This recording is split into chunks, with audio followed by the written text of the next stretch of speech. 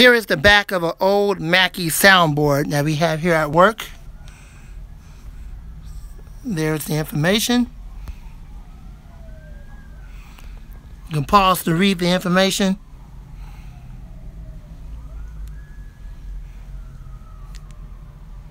A Mackie.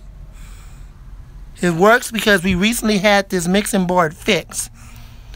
We can plug in equipment uh, like keyboards, organs, microphones, iPod connections, all kind of connections on this keyboard. We just have it out here in the shed house because uh, we have another one like this that's a lot better.